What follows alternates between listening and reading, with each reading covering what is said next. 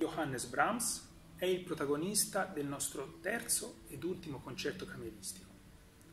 In questo programma ascolterete nell'opera 64 quartetti vocali basati su testi poetici ed addirittura mitologici, ma soprattutto l'attenzione sarà volta al Brahms zigano.